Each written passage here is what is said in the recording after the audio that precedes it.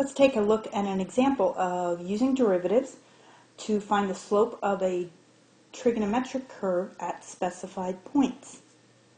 So here we have the curve f of x equals 2 cosine of x, and we have three points on that curve given to us, and we are trying to find the slope at each of those points. So of course the slope is going to be given to us by the derivative.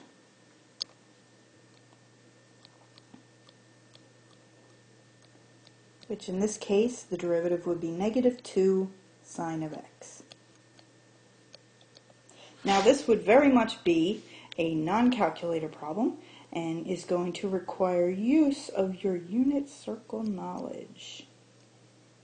So the first one we want the derivative at the x value negative pi over 2. So we need to think of the unit circle. Sine of a negative pi over 2 is going to be negative 1. So our slope is simply 2. Now these would be really easy for you to check on your graphing calculator if you want to do that.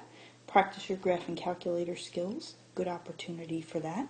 So now we're going to find the derivative at the x value pi over 3. So we have negative 2. Now we need to think of the sine of pi over 3. Remember that's going to be square root of 3 over 2. So there we have negative root 3. So you can see what's happening if you think about the meaning of your derivatives coming out positive or negative. At the x value of negative pi over 2, our derivative value there was a positive 2. So remember that means at that particular point, the curve is increasing. Whereas at the x value of pi over 3, our derivative came out negative. So that means at that particular point on the curve, the curve is decreasing. Now let's see what happens at pi. So we have negative 2. Now we need to think of the sine of pi, of pi, which is 0.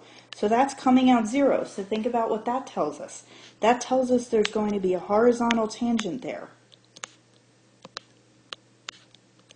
And most likely, and you can look at the curve to confirm this, it is going to be either a maximum or minimum. You can easily look at the curve to tell that. But simply because of the fact that the derivative came out as zero, we do know there is a horizontal tangent on the curve at that location.